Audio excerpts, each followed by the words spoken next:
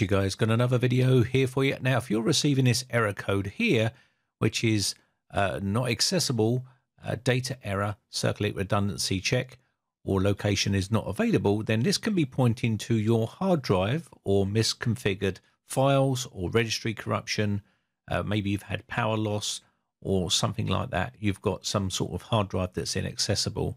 The first thing you're going to need to do is make sure the drive is in good working order and you can do that with HDD scan. There's other software out there which you can do to check the smart and also check the hard drive to make sure the hard drive is working correctly and there's no damage to the hard drive. So let's go ahead and quickly install this software and we'll give it a quick check to make sure everything is okay. Now, if you are receiving any sort of noises from the hard drive, maybe the hard drive is a mechanical drive, then you want to be very careful and you want to uh, stop doing what you're doing and try to get the data off that drive as fast as you can before the drive fails. You can see here I've got a couple of options here available which I can check, but the one we're interested in is the mechanical drive here, and we're going to take a look at it by select it and then reading the smart. This will give us all the smart information. Now you can see that mine is showing up all green and that means the drive is functioning properly and the drive is in good working order. If yours is red or some sort of yellow uh, circles here, then what you need to do is uh, start checking the drive for some sort of issues that you may be having, maybe bad sectors, or maybe there's some other issue with the drive that's going on, and you need to make sure. Now, if the drive is bad and you haven't got a backup of your data, I'd advise you not to run any stringent testing on that drive because you could end up uh, killing the drive off and making it fail completely. Now, you might not even be able to access the drive where the drive is inaccessible, where you can't get onto it and it's not initializing. If that is the case, and you've got all your data backed up and you're just trying to get the drive to work, then you can uh, format the drive and try to uh, get the drive working again. But normally, when the drive is starting to fail, it's time to replace it. So you can verify by read data without transfer. You can read uh, data uh, to the host. And also you've got Butterfly here, which reads data to the host with seeks. And then you've got the erased area here, which allow you to erase the drive if you want to try to erase it this way. Got some built-in tools in here as well, which gives you the driver ID, which will identify your drive and give you some information. Also features and other bits and pieces. So it's a pretty nice little bit of software to use here. Let's go ahead and run a quick test on the drive here. So let me just show you how these work here. But there is other software that you can use. You can choose whatever software you like to use. Maybe you don't want to use HDD scan and you like to use Crystal Disk or you want to use other types of software or maybe you want to go to uh, Seagate or Western Digital's website and download their software and do extensive testing that way. Whatever floats your boat, you can choose whatever software you like. Just be very careful uh, when you're running scans on here. Like I said, if you've got any clicking on the drive or the drive is freezing or the drive is making some weird noises, then you don't really want to uh, put in any stress on the drive at all because as I've said, if the drive suddenly fails, you're going to end up with major problems. Now you'll see like a, a green, orange and red here, and you've got uh, bads here which are going to light up blue. So if you get any colors coming up here, you know the drive is starting to foul. Now, in my personal uh, experience, it's not worth trying to repair the drive. It's time to replace it. And the best thing to do is try to get the data off the drive and replace it. Now, if you do want to use tools from Seagate or Western Digital, you can go over to their website, just type in there Western Digital hard drive scan tools, and you'll see uh, bunches of stuff coming up here. And you can see Seagate and Western Digital.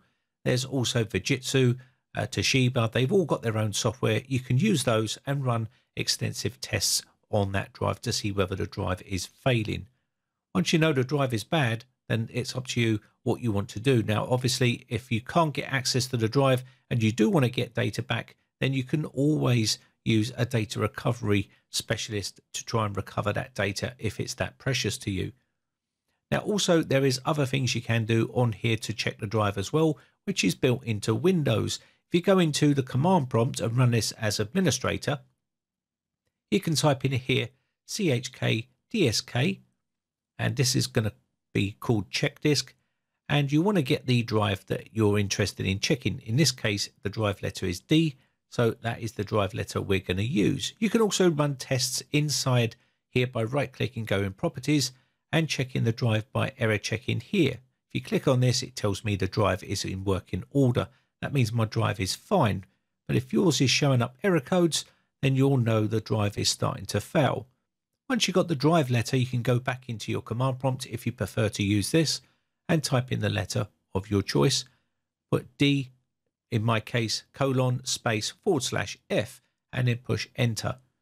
You might get the drive is in use or it can't dismount it and it will do it on the next reboot. I'm going to say no here and then move on and try another one. So you can do CHK DSK D colon, which is my drive letter, space, forward slash, and I'm going to do F space forward slash X, which will try to dismount the drive and also forward slash R. And then this will be a much more extensive check. It will take quite a while to run this check. Now, again, I can't stress enough, you don't want to be doing these types of tests if your drive is failing or it's bad.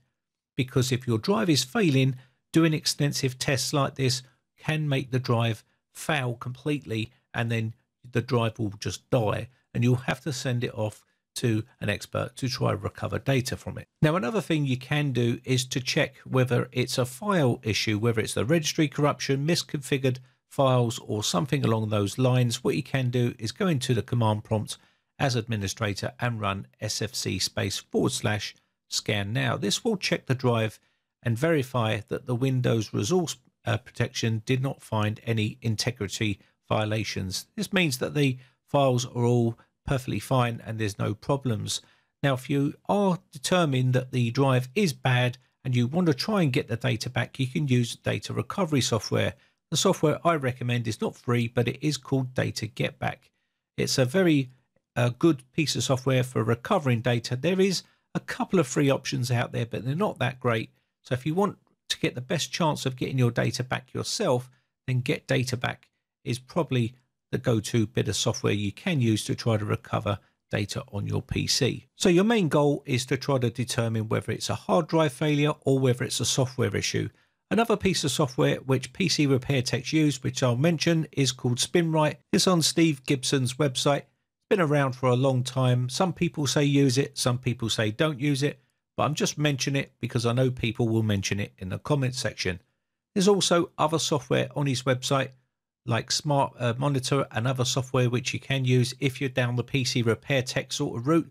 Again, if you're a home user, I would avoid it. Uh, another piece of software which people might mention, which is HDD Regenerator 2011. Now, I've used this software in the past and it's a, a pretty decent bit of software. Again, I can't show you all the software that I've used in the past because we'll be here for quite a long time. It's pretty decent. It's not free, but it's always nice to have in your toolkit.